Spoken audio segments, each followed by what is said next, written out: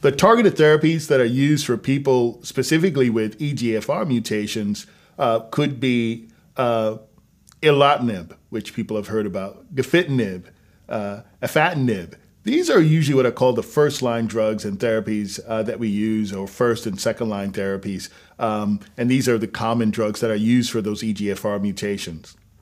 What happens though if your cancer continues to spread? Well, again, as we talked about before, it takes additional biomarker testing. But if you have a mutation that is not responsive to the first or second line, for example, um, a specific mutation, T790M, or just some mutation that is not absolutely responsive, we have other treatment options.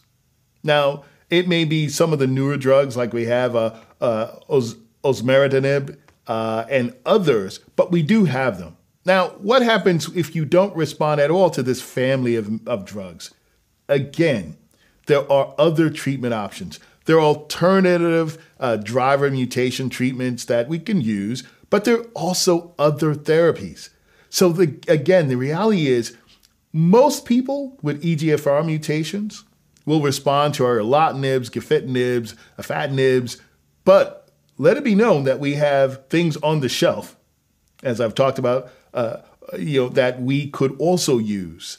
And so we are again at a very good point in medicine where just because we don't have, you're not effective the first time around with a specific drug, we do have others uh, that are in store that can be very effective.